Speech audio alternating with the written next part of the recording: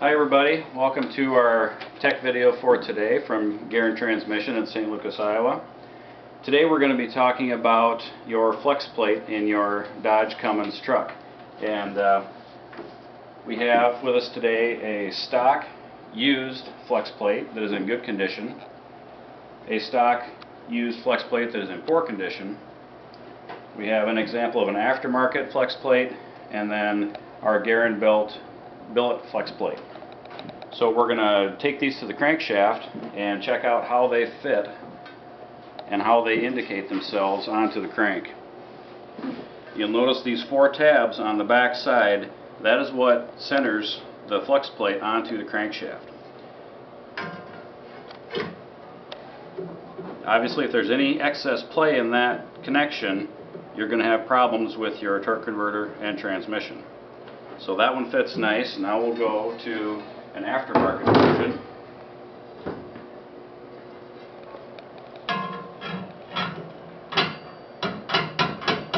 And you can see how sloppy loose that is, which is going to affect the alignment of your torque converter to your engine and transmission.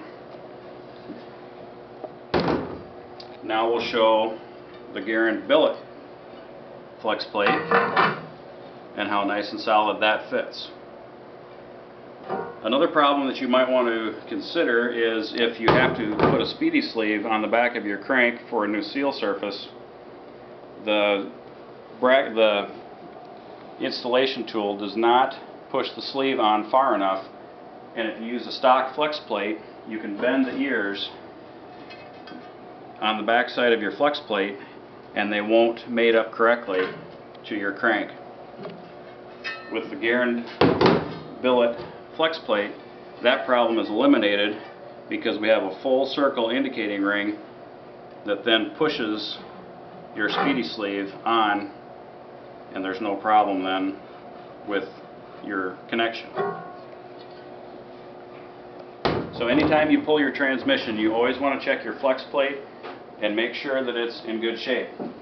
So now we're going to come over to our billet converter cover and check the pilot. Because the converter does not center itself on the crankshaft it centers on the flex plate. So here is a good stock flex plate. Very little play in that connection maybe five thousandths of an inch. That's that's a good fit.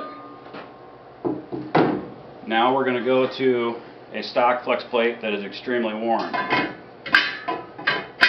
you can see how that sloppy loose is going to affect how your converter runs in relation to your transmission.